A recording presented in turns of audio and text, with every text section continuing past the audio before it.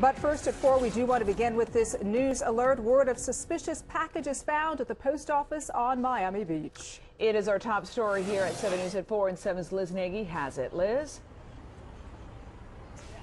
Lynn, we are here on Miami Beach. This is the main post office building at 1300 Washington Avenue. We're actually one block off of Washington Avenue because all of this activity is happening on the back side of the post office. The City of Miami Fire Rescue is here assisting Miami Beach.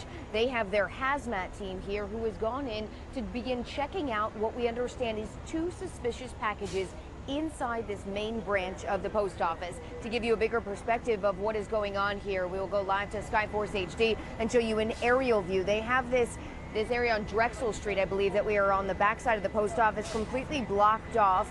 And firefighters are here speaking with Miami Beach police, also talking with the post office police about how to best handle this situation. And to show you what happened here just a few minutes ago, City of Miami Fire Rescue and their hazmat team are here. We watched several firefighters suit up into those white hazmat suits to head inside the post office. All of this is a precautionary measure. We have not heard from City of Miami Fire Rescue what the nature of these suspicious packages are, if they were something that was left behind by a customer or placed here perhaps intentionally by someone. We are still waiting for all of that information, but we'll bring you back out here to the scene to show you what is going on. It appears from this perspective, and we've been here for about a half hour or so, that the hazmat team appears to be packing up and perhaps moving on. We did watch two guys just a few minutes ago walk in the back door of the post office. They had those tanks on their back, but they quickly walked back out. We still don't know either what the size of these suspicious packages are and how they're going to handle them,